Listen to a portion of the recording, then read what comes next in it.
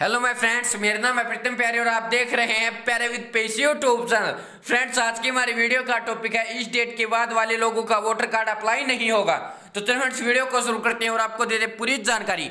तो फ्रेंड्स मेरे पास कमेंट आ रही थी कि, सर, हमारा वोटर कार्ड अप्लाई नहीं हो रहा है. तो फ्रेंड्स अगर आपकी डेट ऑफ़ बर्थ एक जनवरी 2003 के बाद की है तो अभी आप वोटर कार्ड अप्लाई नहीं कर पाएँगे, क्योंकि जो अभी फ़िलहाल वोटर कार्ड अप्लाई हो रहे हैं, वो एक जनवरी 2003 से पहले जिनकी डेट ऑफ़ बर्थ है, उन्हीं के वोटर कार्ड अप्लाई हो रहे हैं। एक जनवरी 2003 के बाद के अभी फ़िलहाल वोटर कार्ड अप्लाई नहीं हो रहे हैं।